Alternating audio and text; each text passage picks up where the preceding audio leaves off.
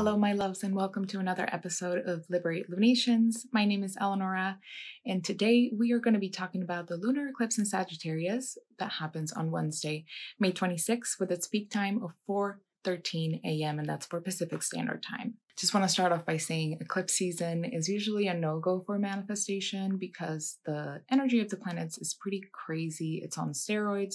So, this lunar eclipse is basically going to be a full moon on steroids. Eclipse season can still be good to release, reflect, journal, meditate, but I wouldn't recommend this to plant new seeds, start new things, manifest new things. Basically, everything you put out during eclipse season comes back to you tenfold. So be wary of that. Sagittarius is a fire mutable sign ruled by the planet Jupiter, who is in Pisces right now, its other home sign.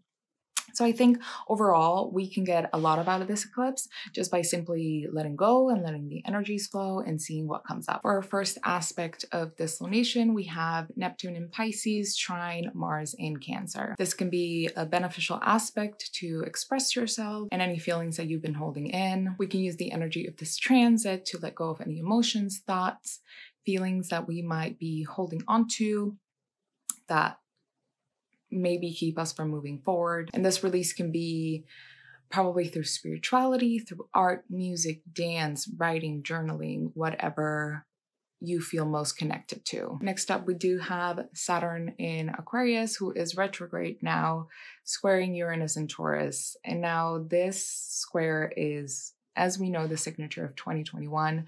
This is the push and pull motion that we'll be dealing with this whole year of challenging our boundaries, challenging our restrictions, challenging our limitations. Saturn right now is retrograde, which means we're going through a period of revision, of revising, restructuring when it comes to our boundaries. And Uranus, as we know, is the planet of the unexpected, is the planet of change. So let there be some wiggle room to challenge yourself and to possibly view things from a different perspective and try new things. With the square being so active this year, I do recommend everybody who's watching this to really dive into your chart and see where this square is activating, like what houses is activating, what areas of life are being activated by both your Aquarius house and your Taurus house. And then it's going to be easier to decipher the themes that are coming up or what you need to challenge yourself with or what needs to go through a structural change. Lastly, we do have Neptune in Pisces squaring both Venus and Mercury in Gemini. So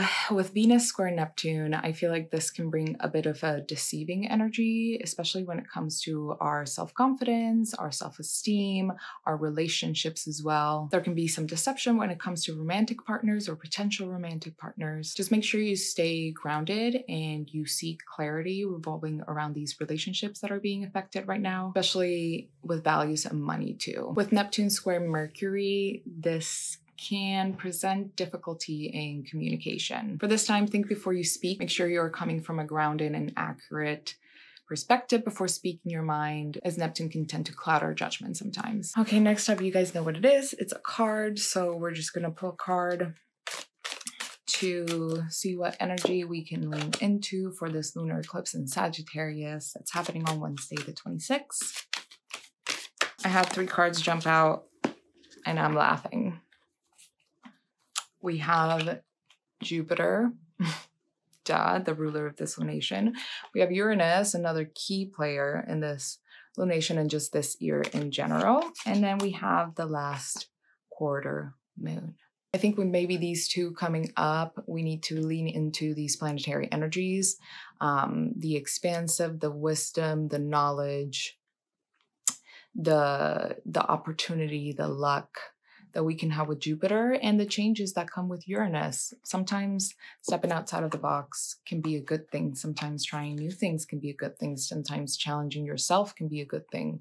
Um, nobody likes when life is too boring, you know what I mean? But um, maybe you lean, you need to lean into those changes and see where that takes you. Maybe there is some restructuring that needs to be revised. Maybe there is there are some chances to be taken. And I mean, with the last quarter moon, this being a full moon, it's all about releasing. So really anything that doesn't serve you right now i know i say it all the time but it's just so true anything that doesn't serve you anything that you don't need you need to release right now um, and this is going to be an ultimate ultimate chance of releasing just because it's a full moon on steroids. So just vibe, ground yourself, and release. For this full moon lunar eclipse, I do recommend you guys work with uh, Ruby Sapphire. You can get them separately or you can get them together. The reason I recommend this crystal is because it's great for grounding. It is protective. It helps with the vitality as well. Sapphire is a Sagittarius stone, has the power to align and re-energize the body as well. And sometimes we can find full moons to be very draining. It's great for self-care. It inspires confidence, creative expression as well, and it balances. Needless to say, you can get Ruby Sapphire at our shop. You can either shop online at liberateyourself.com or you can stop by in person and come see us at Liberate Emporium in Los Feliz. Service I recommend for now is healings, especially with a lunar eclipse. Um, it can be great to just get rid of all that gunk, all the energies that are negative, stagnant, unwanted, um, that you don't want in your energetic field. So that way we can move on to the next lunar cycle with a cleansed and balanced body. Events to recommend we have two awesome events on the day before the lunar eclipse. That's the Tuesday, May 25th at 5 p.m., we have Breathwork for Gratitude with Raquelle. That's $15. And then at 6:30 p.m., we have a Kundalini activation process class for the lunar eclipse with Kimberlie Eddy, and that's $40. Um, both amazing events to activate energy and to release energy as well as any blockages. So, yeah, you can go to our website to get tickets, liberateyourself.com. All right, you guys, that is it for this lunar eclipse in Sagittarius. I hope everybody's having a great time. I hope everybody's doing good. I know eclipse energy can be chaotic at times, but I hope we're all finding the grounding and support that we need to at this time. Yeah, I'm sending everybody much, much love, many, many blessings, and have a happy lunar eclipse.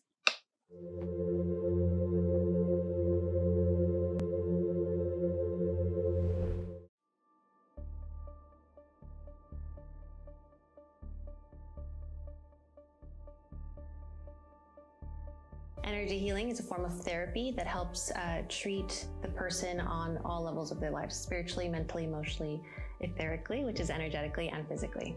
I'm energy, this chair is energy, Everything around us is energy. Uh, when we you receive an energy healing session, it's a transmission of life force. There are a lot of techniques that we can use to balance the energy field. Uh, regardless of the practitioner, there are certain ways in which each of us can connect to and help the client um, rebalance whatever it is that's going on in their energy field that is creating dis-ease or discomfort in their lives. We work with you both in person and remote. Energy healing is good for everything. So you can use it to manifest something, you can use it to uh, treat a, an ailment, whether it's something physical, mental, emotional. And we cleanse your chakras, balance you, clear out stress, physical issues, worry, fear, trauma, anxiety. Release cords, release things in your life or in your body temple that are keeping you from moving forward. I normally suggest that people get energy healing whenever they feel that they need it. Healing energy work should be done on a regular basis, like taking a shower. If you're watching this and it crosses your mind, hmm, out of curiosity, get a healing. You're being called to it.